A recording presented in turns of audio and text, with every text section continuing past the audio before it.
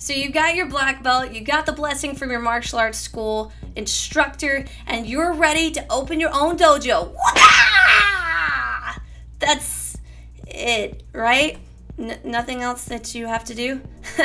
well, of course there is. So if you want to know exactly what you need to do in order to open a successful martial arts dojo in 2022, stick around. I'm going to tell you exactly what you should be thinking about. Hey everybody, my name is Jennifer Waters and I help martial arts school owners scale their martial arts schools from 6 to 7 figures all without adding on expensive programs like after school or going the franchise route or even having a large staff. And in this video today, we are covering exactly what you need to do if you're thinking about opening your own martial arts dojo in 2022. Listen, I jumped into the family business like from the get, but I really started diving into it at like 17 years old. And within four years, we had taken our martial arts school from doing barely, barely six figures, like not even, this one was just like five figures, all the way up and scaled it to doing seven figures of revenue a year. So when I tell you I know what to do and I know the things that you should be thinking about when you're opening your own martial arts dojo, I'm coming from a lot of experience in this area. Now let's get into it because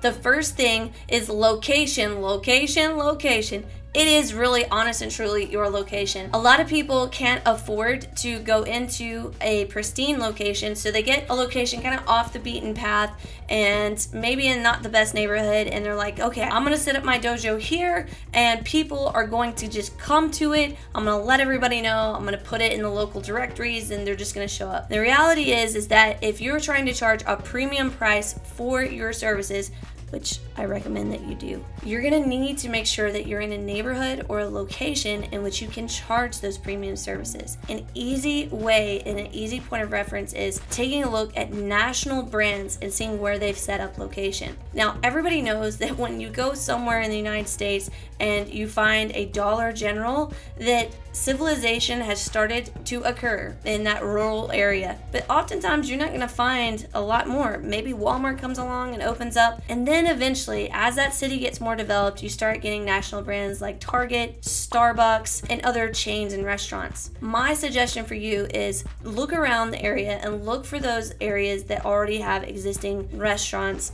Targets, Starbucks, those types of places, because they've already done the market research and have charged millions of dollars for that market research from those market researchers. Utilize that for yourself. They know where the good areas are. And yes, are you going to pay a premium price? You sure are. So only buy what you need. Don't buy what you think you're going to need. You can literally run hundreds of students out of a very small square footage for martial arts.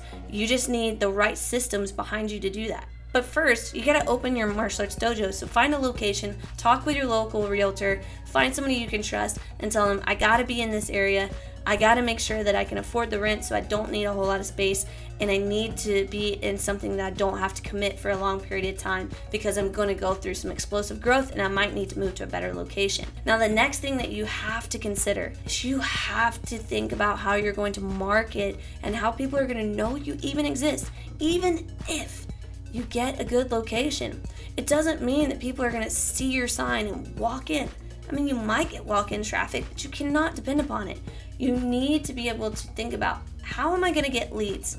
Like hundreds of leads every single month. And what am I going to do to generate those leads? So before you go and sign a lease and sign a contract and start doing all the business paperwork, you need to start thinking about what am I to do to actually get leads to come to me? I need to have a marketing budget. I need to actually be able to go, yep, I'm throwing that money and it's going straight to marketing. Have a plan in place before you just go, if I build it, they will come.